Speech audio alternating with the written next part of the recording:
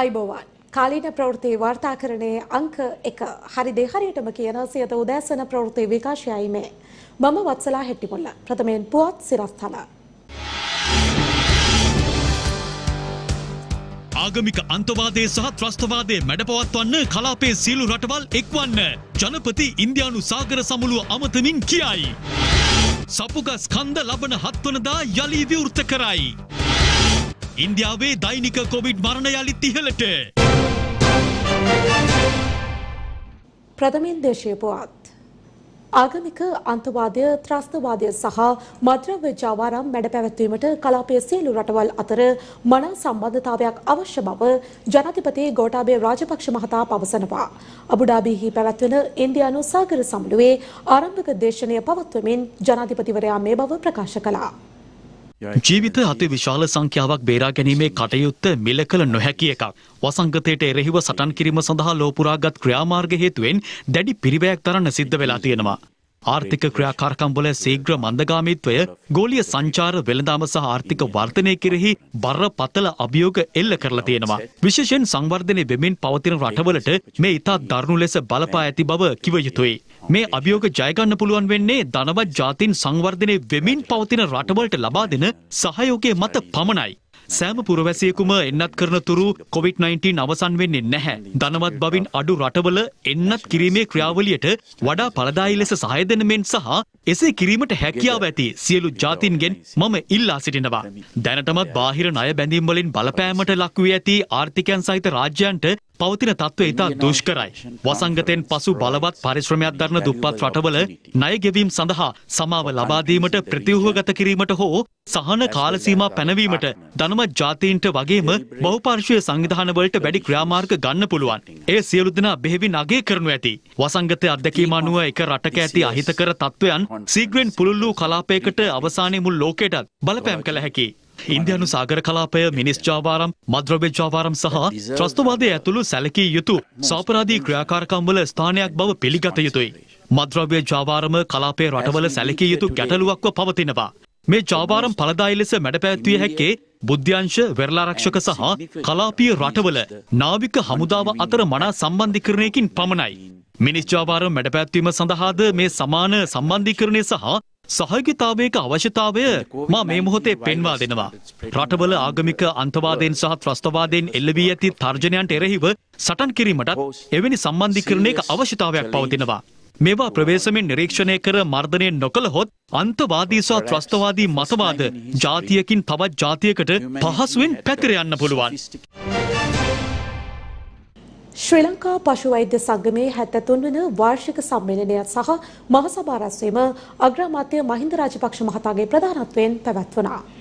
පශු වෛද්‍ය ශේත්‍රයේ උන්නතිය උදෙසා කටයුතු කළ ජේෂ්ඨ පශු වෛද්‍යවරුන් දෙපළක් වන HP ප්‍රේමසිරි සහ RMPA දසනායක යන මහත්වරුන්ට මෙහිදී අග්‍රාමාත්‍යවරයාගේ සුරතෙන් විශේෂ ඇගීම් සම්මාන සහ සිහිවටන තිලින ප්‍රදානය කෙරුණා. ශ්‍රී ලංකා පශු වෛද්‍ය සංගමේ 73 වන සම්මේලනයේ සභාපති පශු වෛද්‍ය එරන්දික ගුණවර්ධන මහතා විසින් වාර්ෂික සම්මේලනයට පැමිණි අග්‍රාමාත්‍යවරයා ඇතුළු සම්භාවනීය අමුත්තන් පිළිගනු ලැබුවා. මෙහිදී පැවති වාර්ෂික මහසභා රැස්වීමේදී ශ්‍රී ලංකා පශු වෛද්‍ය සංගමේ නව සභාපතිවරයා වශයෙන් පශු වෛද්‍ය සුසන්ත මල්ලවරච්චි මහතා තේරීපත් වුණා. මෙම අවස්ථාවට රාජ්‍ය අමාත්‍ය ඩී.බී. හේරත් මහතා සහ ශ්‍රී ලංකා පශු වෛද්‍ය සංගමේ වෛද්‍යවරුන් ඇතුළු පිරිසක් එක්ව සිටියා. කොන්දේසි තුනක් යටතේ ඊයේ සිට ගෘහස්ත ගෑස් වෙළඳපොළට නිකුත් කිරීමට පාරිභෝගික කටයුතු පිළිබඳ අධිකාරිය පියවර ගත්තා. රාජාමාත්‍ය ලසන්ත අලගේවන්න මහතා ප්‍රකාශ කළේ පාරිභෝගික කටයුතු පිළිබඳ අධිකාරිය ගන්නා තීන්දුව තීරණවලට සමාගම් අනිවාර්යයෙන්ම එකග විය යුතු බවයි. ගෑස් පිපිරීම් සහ කාන්දුවීම් අද සාමාන්‍ය දෙයක් බවට පත්වමින් තිබෙනවා. ජනතාවගේ හිතට යම් සහනයක් ලැබුණා ගෑස් සිලින්ඩර නිකුත් කිරීම තහනම් කළාට පස්සේ. හැමෝම හිතුවා ප්‍රශ්නකාරී ගෑස් සිලින්ඩර ගෙවල් වලින් සහ අලවි මධ්‍යස්ථාන වලින් ඉවත් කරන්න කියලා නියෝග ලැබෙයි කියලා. එහෙත් සිද්ධ වුණේ ගෑස් තහනම පනවලා පැය කිහිපයකින් සුපුරුදු විදිහට ගෑස් අලෙවි කරන්න අවසර දීපු එකයි. ඊයේ පාරිභෝගික කටයුතු පිළිබඳ අධිකාරිය නිවේදනයක් නිකුත් කරමින් ප්‍රකාශ කළේ ප්‍රධාන කොන්දේසි තුනක් යටතේ යටතේ ගෑස් අලෙවි කිරීමට සමාගම් දෙකට අවසර දුන් බවයි. ඇත්තටම ඒ නිර්දේශ ක්‍රියාත්මක වනවාද?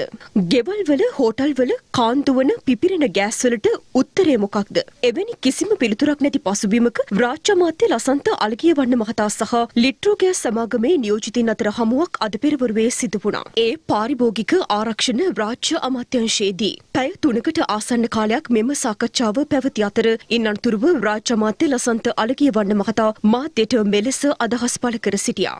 හවස වෙනම ප්‍රවෘත්ති සාකච්ඡාවක් තියෙනවා. මේ පිළිබඳ ප්‍රවෘත්ති සාකච්ඡාවේ සම්පූර්ණ විස්තරය කියන්න. ඒ හැම කරුණක් පිළිබඳවම තීන්දු තීරණ ගත්තා. හවස වෙනම ප්‍රවෘත්ති සාකච්ඡාවක් තියෙන දැනුවත් කිරීමක් කරන්න. ප්‍රශ්නයක් ඇති වුණා. ඒ ප්‍රශ්න निराකරණය කර ගැනීම වෙනුවෙන් සෑම අංශයක් පිළිබඳවම බලලා විශේෂම පාරිභෝගික ආරක්ෂාව පිළිබඳව බලලා තීන්දු තීරණ ඉතාමත් වටිනා තීන්දු තීරණ ටිකක් අරගෙන දැනට ක්‍රියාත්මක වෙමින් පවතිනවා. ඒ පිළිබඳව තවත් සාකච්ඡා කිහිපයක් තියෙනවා. ඊට පස්සේ සම්පූර්ණ වැඩ පිළිවෙල දැනුවත් කිරීමක් කරනවා. මේගොල්ලෝ මේ කැමති වුණාද මේ පාරිභෝගික කටයුතු අධිකාරී තීරණ වලට එකඟ වුණාද? අනිවාර්යයෙන්ම පාරිභෝගික ආරක්ෂා කිරීම වෙනුවෙන් ගන්නා වූ සියලුම තීන්දුව తీරන වලට අදාළ සමාගම් කැමැති විය යුතුයි. ඒක තමයි රටේ නීතිය. ලීට්‍රෝ එකෙන් නම් කියනවා මේ මේ කියන විදිහට කරන්න ටික කාලයක් යනවායි කියලා. කරලා බලන්න කියලා කියන්නේ.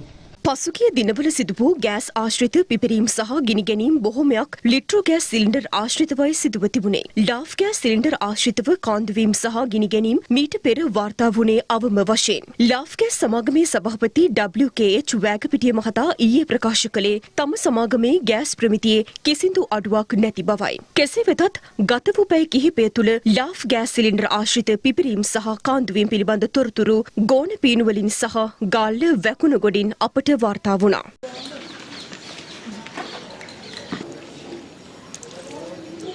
අරක පට පට ගාලා මම දවල් බත් වෙන්න හදනකොට හොදියක තිබ්බා තියලා එළියට එනකොට ඩෝංගල් පිපුරුවා. එකපාරට වීදුරු උඩ ගිහලා කෑලි ඊසි වුණා.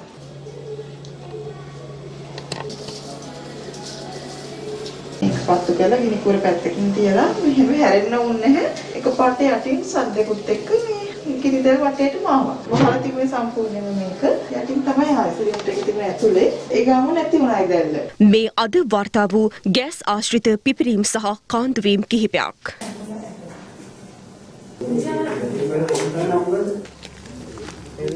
මේ දෙකම ලීක්.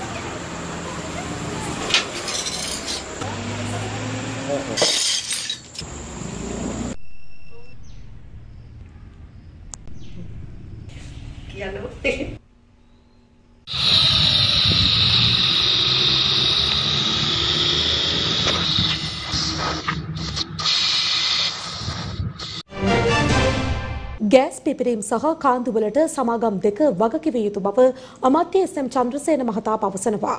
ලිට්‍රෝ ගෑස් සමාගම ආණ්ඩුවේ සමාගමක් බවත් මේ සියලු පරීක්ෂණ අපරාධ පරීක්ෂණ දෙපාර්තමේන්තුවට බහර දිය යුතු බවත් පාර්ලිමේන්තු මන්ත්‍රී මුජිබුර් රහමාන් මහතා ප්‍රකාශ කරනවා.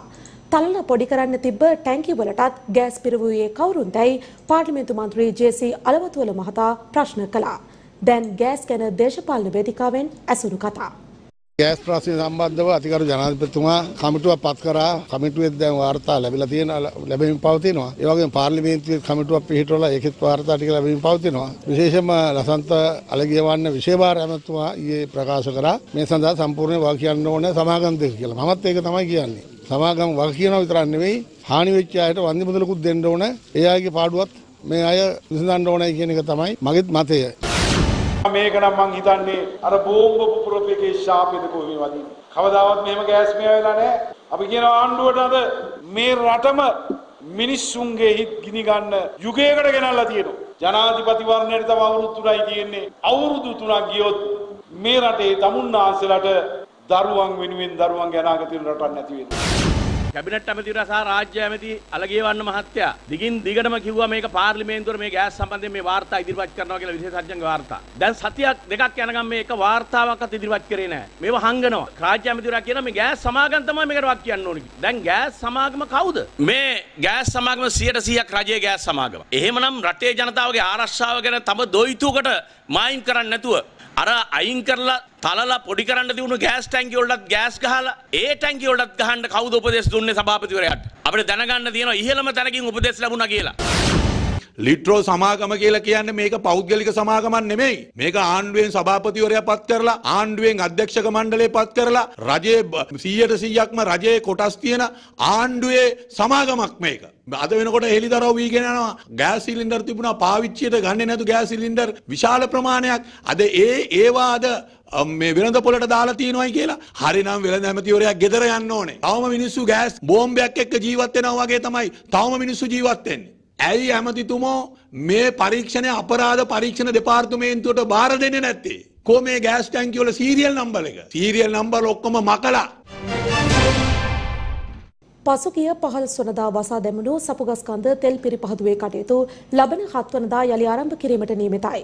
මේ අතර ලබන අටවනදා තෙල් වරාය විදුලි වෘත්තීය සමිති එක්ව දැවන්ත විරෝධතාවයකට සූදානම් වනවා. තෙල් සහ විදුලිය පිළිබඳ අද වන විට සමාජය නිර්මාණය වී ඇති සිදුවීම් කිහිපයක් මේ. තෙල් පිරිපහදු කරමින් අපි ලබා දෙනවට වඩා පිරිපහදු කළ තෙල් පිටරටින් ගේන එක ලාභදායී බව අමාත්‍ය උදේ ගම්මන්පිල මහතා පසුගියදා ප්‍රකාශ කළා. ඒ අනුවයි සපුගස්කන්ද තෙල් පිරිපහදුව තාවකාලිකව වසා දැමීමට විශේභාර අමාත්‍යවරයා ලෙස උදේ ගම්මන්පිල මහතා තීරණය කළේ. රජයගත් මේ තීරණයත් එක්ක අපේ සපුගස්කන්ද තෙල් පිරිපහදුව පසුගිය නොවැම්බර් මාස 15 වනදා තාවකාලිකව වසා දැමුණා. කොහොමනත් තාවකාලිකව නතර කළ සපුගස්කන්ද තෙල් පිරිපහදුවේ කටයුතු යළි ආරම්භ කිරීමට පියවරගෙන තිබෙනවා. ලබන හත්වනදා සිට යළිත් පිරිපහදු කටයුතු ආරම්භ කිරීමට නියමිත බවයි විශ්වභාර අමාත්‍ය උදේ ගම්මන්පිල මහතා සිය ෆේස්බුක් ගිණුමේ සටහනක් තබා තිබුණේ. මේ අතර මෙරට ජාතික සම්පත් විකිණීමට එරෙහිව උද්ඝෝෂණ සහ විරෝධතා පාගමනක් ලබන අටවනදා පැවැත්වීමට තීරණය කර තිබෙනවා. ඒ ජාතික සම්පත් විකිණීමට එරෙහි තෙල් වරාය විදුලි ඒකාබද්ධ සන්ධානයයි. වෘත්තීය ක්‍රියාමාර්ග තීව්‍ර කිරීමේ දිනයක් ඉදිරි අපි නම් කරලා තිබෙනවා එළඹෙන දෙසැම්බර් 8 වෙනිදා. දෙසැම්බර් 8 වෙනිදා විදුලි බල මණ්ඩලයේ සේවකයොත් වරාය සේවකයොත් තෙල් සේවකයොත් කොළඹ කොටුව දුම්රිය පරිසරයට පැමිණීමට නියමිතයි. දැවැන්ත උද්ඝෝෂණයක් සහ දැවැන්ත පාගමනක්. ඇමරිකන් නිව් පෝස්ට් එනර්ජි සමාගම සහ සමග ගහපු නීති විරෝධී හොර ගිවිසුම මේ දක්වා රටට හෙදරව් කරලා නැහැ. ලංකා විදුලි බල මණ්ඩලයේ ඒකාබද්ධ වෘත්ති සමිති සන්ධානය මේකට දැනුම් දීලා තිබෙනවා පාලන අධිකාරියටත් විදුලි බල මණ්ඩලයේ සමස්ත සේවකයින්ටත් බලාගාර වලින් වැඩබිම් වලින් කාර්යාල වලින් අටවෙනිදා ඉවත් වෙලා ලෙඩ නිවාඩු වාර්තා කළා තමන්ගේ අප්‍රසාදය විරෝධය පළ කරන්න මේ අතර මහජන අයිතින් සුරකීමේ ජාතික ව්‍යාපාරයේ කැඳවුම්කරු අනුරුද්ධ සෝමතුංග මහතා විදුලි කප්පාදුවට සිය දැඩි විරෝධය පළ කළා. අද කවුරුත් කතා කරනවද? විදුලිය අහිමිවීම නිසා බ්ලැකවුට් සිද්ධ වීම නිසා Tamanගේ දෛනික උපයෝජනය විනාශ වුණාට පස්සේ මිනිසුන්ට වෙන හානිය සම්බන්ධයෙන්. නිශ්චිත වශයෙන්ම මේ විදුලි ඉංජිනේරුවරුන් සහ මේක සිද්ධ කරන්නා වූ පිරිස මේ සම්බන්ධයෙන් ලබා දෙන්නා වූ ඉඟි.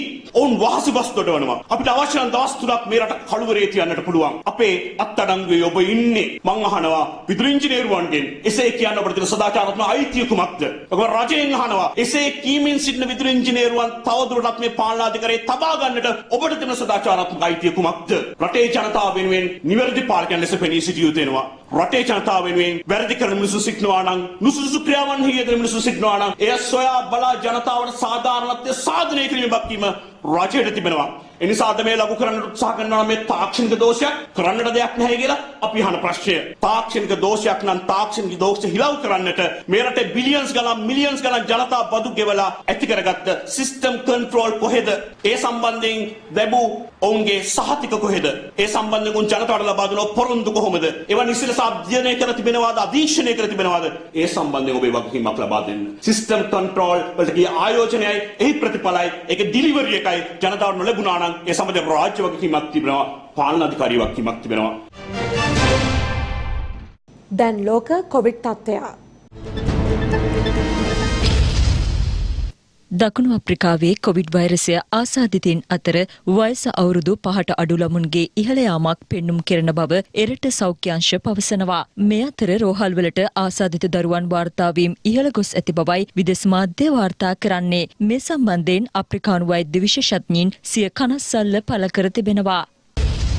බෙල්ෂියමේ ඇන්වර්ප් සත්වෝද්‍යානයේ හිපපොටේමස් සතුන් දෙදෙනෙකුට කොවිඩ් ආසාධිත බවට තහවුරු වී තිබෙනවා. මෙම සත්ව යුගලය පූර්වරක්ෂාව සඳහා නිරෝධායනයට ලක්කර ඇති බවයි එරට මාධ්‍ය පෙන්වා දෙන්නේ. සත්වෝද්‍යාන බලධාරීන් පවසන්නේ සත්වෝද්‍යානයේ කිසිදු පාලකයෙකුට වෛරසය ආසාධිත බවට තහවුරු නොවූ බවයි. මේ සම්බන්ධයෙන් පරීක්ෂණ පවත්වන බවයි බලධාරීන් ප්‍රකාශ කළේ. මෙය මෙම විශේෂයෙන් වාර්තා වූ පළමු අවස්ථාවයි. ලොව පුරා ප්‍රධාන වශයෙන් වානරින් සහ බලලුන් සතුන් අතර කොවිඩ් වෛරස ආසාදිත බවට මීට පෙර තහවුරු වුණා. නෝර්වේහි ඔස්ලෝ අගනුවර පෞද්ගලික ආයතනයක පැවැත් වූ නත්තල් සාදයකින් අනතුරුව ඔමික්‍රෝන් වෛරසය ආසාධිත පුද්ගලයින් දහතුන් දෙනෙකු වාර්තා වී තිබෙනවා. සාදයට පුද්ගලයින් එකසේ විසි දෙනෙකු පමණ සහභාගී වී ඇති අතර ඉන් අඩකට පමණ වෛරසය ආසාධිත බවට විශ්වාස කරන බවයි එරට මාධ්‍ය පෙන්වා දෙන්නේ.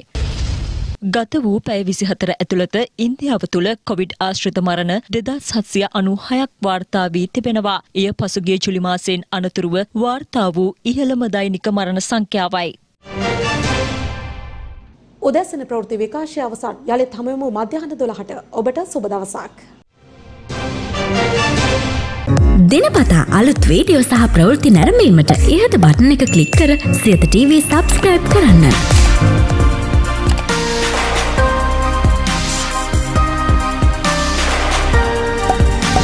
වීඩියෝ ගැන මුලින්ම දැනගන්න මෙම සීනුව ක්ලික් කරන්න.